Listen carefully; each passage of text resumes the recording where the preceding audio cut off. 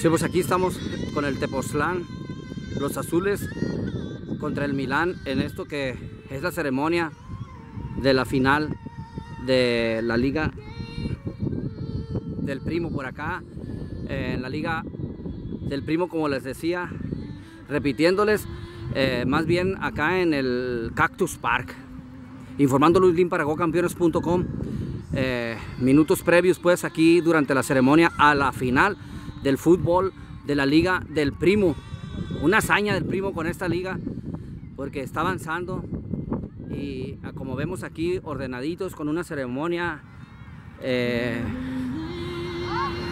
pues muy formal poniendo el ejemplo de cómo se pueden llevar a cabo pues este tipo de eventos en las finales eh, de manera modesta pero con mucha organización. Así es de que en su ceremonia pues previa a la disputa por el título, verdaderamente por el título. Hace rato estuvimos transmitiendo el juego entre León y lo que fue Rayados, pero era de consolación. Ah, ahorita ya viene la final, la principal, la grande, me dicen, de la primera división. Así es que informando Luis Lin para gocampeones.com desde aquí, desde el Cactus Park, ¿eh? en esto que es la ceremonia. Ahora con los dos himnos, el himno de los Estados Unidos y el himno de México. Así es que para que no se ponga nadie celoso, hay que saludar también, como dicen aquí los muchachos estos de Tepoztlán, ¿eh?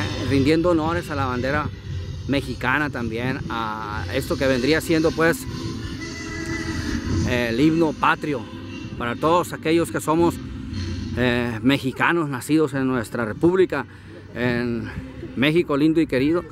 Y también a todos aquellos que somos de Estados Unidos, ¿por qué no? Porque tenemos hijos aquí en esta que es pues eh, la bandera de los Estados Unidos también, rindiendo honores a los eh, símbolos patrios, como les dicen de manera cívica y política, a las banderas de ambos, de ambos países. Eh, estando aquí en Arizona, en los Estados Unidos, pues también lógicamente se tiene que escuchar el himno de rigor, el himno nacional de los Estados Unidos.